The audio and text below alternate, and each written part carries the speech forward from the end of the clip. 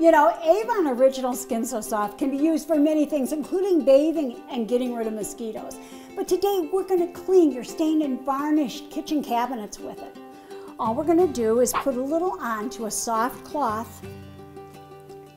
And I like to use an old washcloth for this. I think it works great. We're going to start and work in a circular motion on the kitchen cabinet and particularly work in areas where you get fingerprints, dirt, and grease. And that's right where you open the door usually. Work it in, then buff it in the direction of the grain, and then take a soft microfiber cloth and simply buff, buff, buff. Those cabinets will shine, the kitchen will smell great, and you won't have mosquitoes either. For additional information, check out my website at queenofclean.com. Follow me on Facebook and Twitter, and thanks for talking dirty with the Queen of Clean.